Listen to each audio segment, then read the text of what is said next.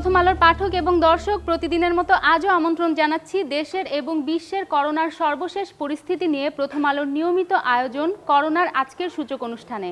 প্রথমেই জেনে নেব স্বাস্থ্য অধিদপ্তরের সর্বশেষ স্বাস্থ্য বিজ্ঞপ্তি। দেশে চলমান পরীক্ষাগার রয়েছে একশো একাশিটি, সেখানে গত চব্বিশ ঘন্টায় সংগৃহীত নমুনার সংখ্যা পনেরো হাজার ছশো উননব্বইটি। গত চব্বিশ ঘন্টায় নমুনা পরীক্ষা করা হয়েছে পনেরো হাজার পাঁচশো চুয়াল্লিশটি এখন পর্যন্ত নমুনা পরীক্ষা করা হয়েছে তেত্রিশ লাখ দু হাজার চারশো উনত্রিশটি। গত চব্বিশ ঘন্টায় সারা দেশে করোনা রোগী শনাক্ত হয়েছেন নশো আটাত্তর জন।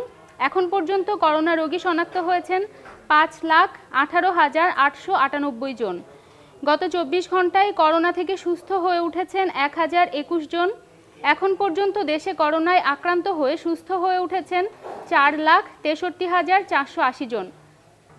গত চব্বিশ ঘন্টায় করোনায় আক্রান্ত হয়ে মারা গেছেন সতেরো জন। এখন পর্যন্ত দেশে করোনায় আক্রান্ত হয়ে মারা গেছেন সাত হাজার ছশো সাতাশি জন। দর্শক আজ দেশের করোনা পরিস্থিতি নিয়ে আলোচনা করার জন্য আমাদের সঙ্গে উপস্থিত আছে deputy head of reporting Tanvir Sohel. Tanvir Sohel আপনাকে ধন্যবাদ আমাদের সঙ্গে যুক্ত হবার জন্য।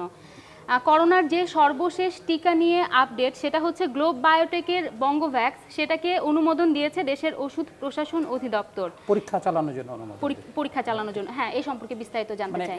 এটি আসলে একটা দিকে আমাদের দিকের মানে আমাদের জন্য ভালো খবর। কারণ হচ্ছে যে আপনি জানেন যে পৃথিবীর বিভিন্ন দেশে টিকা উৎপাদনের জন্য অনেকে চেষ্টা করতেছে। তো গ্লোব বায়োটেক বাংলাদেশের একমাত্র প্রতিষ্ঠান যারা এটা করোনার যে অ্যানিম্যাল টেস্ট যেটা সেটা সাকসেসফুলি সম্পন্ন করার পর এখন ক্লিনিক্যাল ট্রায়াল অর্থাৎ মানুষের মধ্যে করোনার যে পরীক্ষাটা হবে সেটা তারা করার একটা অনুমোদন ওষুধ প্রশাসন থেকে পেয়েছেন যেটা আমাদের জন্য ভালো খবর।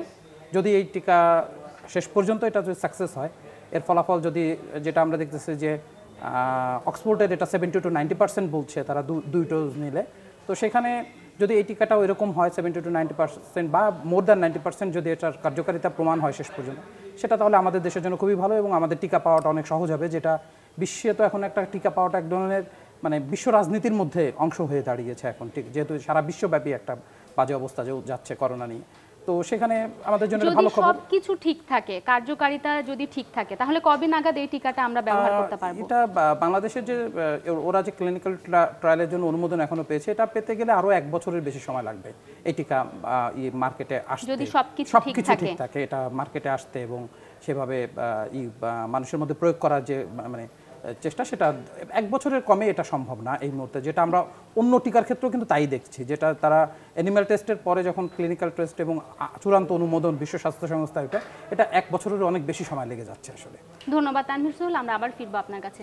দর্শক, এ পর্যায়ে আমরা জেনে নেব দেশের করোনা পরিস্থিতি নিয়ে আরও কিছু তথ্য। যে সতেরো জন গত চব্বিশ ঘন্টায় করোনায় আক্রান্ত হয়ে মারা গেছেন, তাদের নজনই ঢাকা বিভাগের চট্টগ্রাম থেকে মারা গেছেন দুজন, রাজশাহী থেকে দুজন। খুলনা বিভাগ থেকে মারা গেছেন একজন, বরিশাল এবং সিলেট বিভাগ থেকে কেউ করোনায় আক্রান্ত হয়ে মারা যাননি। রংপুর থেকে মারা গেছেন দুজন এবং ময়মনসিংহ থেকে মারা গেছেন একজন। যে সতেরো জন গত চব্বিশ ঘন্টায় করোনায় আক্রান্ত হয়ে মারা গেছেন, তাদের প্রত্যেকে মারা গেছেন হাসপাতালে, কেউ বাড়িতে মারা যাননি। দেশে কোভিড ডেডিকেটেড হাসপাতালে শয্যা সংখ্যা দশ হাজার চারশো পঁয়তাল্লিশটি। সেখানে ভর্তি রয়েছেন দু হাজার আটাশি জন, খালি আছে আট হাজার তিনশো সাতান্নটি। সর্বমোট আইসিইউ সংখ্যা ছশো দুইটি, সেখানে ভর্তি রয়েছেন দুশো সত্তর জন এবং খালি আছে তিনশো বত্রিশটি। আমরা আবারও ফিরবো তানভীর সোলের কাছে। আপনার কাছে আমার দ্বিতীয় যেটা প্রশ্ন, সেটা হলো ভারতের সেরাম ইনস্টিটিউট থেকে অক্সফোর্ড এস্ট্রাজেনিকার টিকা নিয়ে টিকার আমদানি নিয়ে একটা জটিলতা চলছে। এটা সর্বশেষ আপডেট কি? আসলে জটিলতা বলাটা কঠিন, কারণ ভারতের পক্ষ থেকেও বিষয়টা পরিষ্কার করা হয়েছে, সেরাম ইনস্টিটিউটের পক্ষ থেকেও পরিষ্কার করা হয়েছে। প্লাস বাংলাদেশের যারা বেক্সিমকো এটার সঙ্গে যুক্ত আছে এজেন্ট হিসেবে প্লাস সরকার যুক্ত আছে তারাও কিন্তু বলছে যে পরিস্থিতিটা সেরকম না টিকা পেতে কোনো সমস্যা হবে না। হ্যাঁ কিন্তু আহ, মানুষের মধ্যে সাধারণ মানুষের মধ্যে কিন্তু একটা প্রশ্ন তৈরি হয়েছে যেখানে সেরাম ইনস্টিটিউট তখন বলছে যে তাদের টিকা তারা মানে ভারতের মানে ভারতের মানুষের দেওয়ার থেকে হচ্ছে তারা বলছে যে টিকাটা রপ্তানির ব্যাপারে যে অনুমতি এটা তাদের অনুমতিটা এখনও নাই। কিন্তু সর্বশেষ তথ্য আমরা জানতে পেরেছি যে অনুমোদন আছে। হ্যাঁ সেখানে আবার তারা আবার কিন্তু পরে আবার বলছে। ওদিনই কিন্তু সিও বলছেন যে অনুমতি নাই। আবার বলতেছেন যে না আমাদের এখন সব দেশে এটা মধ্যে আছে। তবে আসলে এই টিকার বিষয়টা যতটা আসলে সেরাম ইনস্টিটিউটের সাথে বাংলাদেশের বা বেক্সিমকোর মাধ্যমে যেটা সেটার থেকেও আসলে সরকার টু সরকার অনেক বেশি। যদিও এটা জি টু জি চুক্তি সরাসরি বলার উপায় নাই ত্রিপক্ষীয় চুক্তি। বেক্সিমকো বলছে যেটা জিটুজি না এটা বাণিজ্যিক চুক্তি বাট সরকার থেকে বলছে যে জিটুজি পুরোপুরি না হলেও এটা সরকার সব পক্ষ এটা ছিল নরেন্দ্র মোদী ভারতীয় প্রধানমন্ত্রী তিনি এটার সঙ্গে যুক্ত ছিলেন। বাংলাদেশের প্রধানমন্ত্রী বাংলাদেশের প্রধানমন্ত্রীর সঙ্গে যখন নরেন্দ্র মোদী কথা বলেছেন, তিনিও কিন্তু এই কথাটাই বলেছেন যে তিন কোটি টিকা যেটা প্রথম ভারত যখন পাবে, আমরাও তখন পাবো।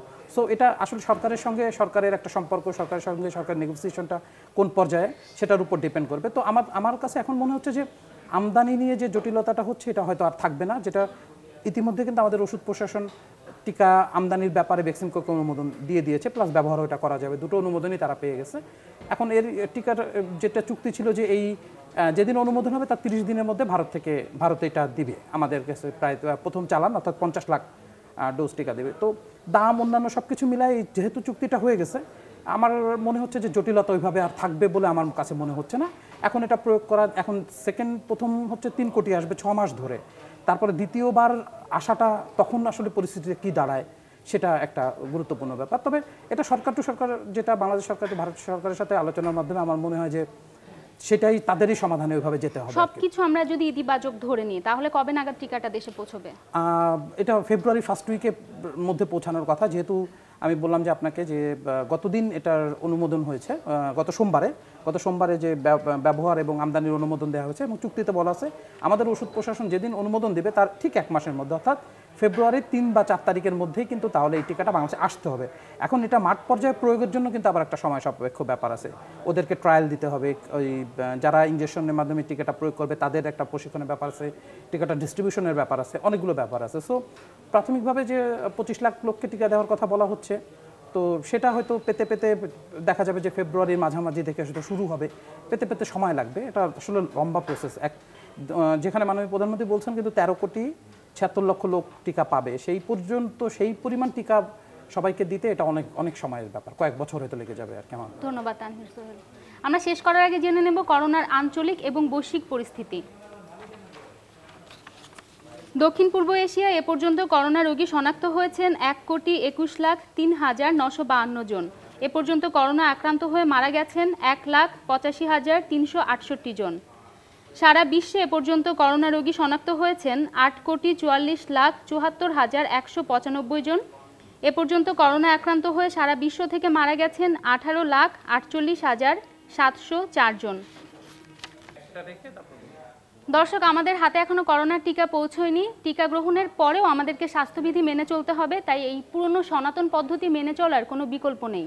আপনার সচেতনতাই আপনাকে বাঁচাতে পারে, তাই স্বাস্থ্যবিধি মেনে চলুন, মাস্ক পরুন, হ্যান্ড স্যানিটাইজার ব্যবহার করুন, সামাজিক দূরত্ব মেনে চলুন এবং নিতান্ত প্রয়োজন ছাড়া ঘর থেকে বের হবেন না। ধন্যবাদ।